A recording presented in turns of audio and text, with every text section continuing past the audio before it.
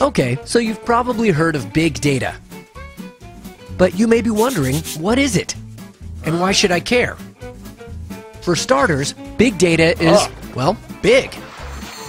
Data has been getting bigger for a while now. From the dawn of time to less than a decade ago, mankind generated about 5 exabytes of data. In 2012, global data will grow to 2.7 zettabytes. That's 500 times more data than all data ever generated prior to 2003. And it's going to grow three times bigger than that by 2015. One of the big reasons that data is getting bigger is that it's continuously being generated from more sources and more devices. And much of that data, like videos, photos, comments in social media forums, reviews on websites, and so on, is unstructured.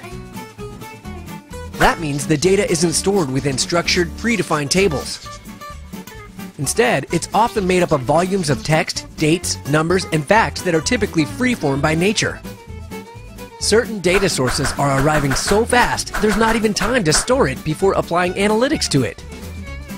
And that's why traditional data management and analytics tools alone don't enable IT to store, manage, process, and analyze big data. So we could just ignore big data. After all, is it worth the effort? Turns out it is.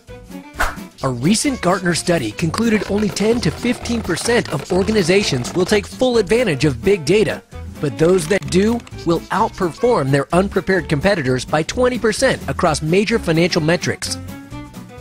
And that's, you guessed it, big. But in order to generate that level of insight and competitive advantage from big data, innovative new approaches and technologies are required. Because the big data you're looking at is like a mountain, and you're trying to uncover those tiny but game changing, competitor smacking golden nuggets of insight and knowledge that transform how effectively you do business. Imagine a logistics company mining data on truck pickup and delivery schedules and real time traffic patterns. The data they're using combines real time GPS feeds from trucks, public traffic pattern data, RFID data from cargo that has been picked up or dropped off, and other sources. Now, imagine they get a call for a new pickup. Which truck should they send? The closest one, right? What if the route for the closest truck has a heavy traffic jam? Or what if the cargo loaded on that truck doesn't allow space for the new pickup? Or maybe the route for that truck involves a series of steep grade changes. In those cases, the closest choice may not be the best choice. It might be more costly, less efficient, or unable to even service the customer's needs. But the only way to arrive at the optimal decision is to analyze multiple big data sources in real time. And that's just one quick example of how big data can make a big impact on a company's bottom line. You can find out more about big data, what it is, how to use it, and data center strategies for taking advantage of it by visiting us on the web